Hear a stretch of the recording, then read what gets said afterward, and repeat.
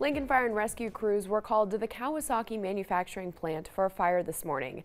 This is what the scene looked like just off of Highway 34 on the northwest side of Lincoln. The call went out just after 9 a.m.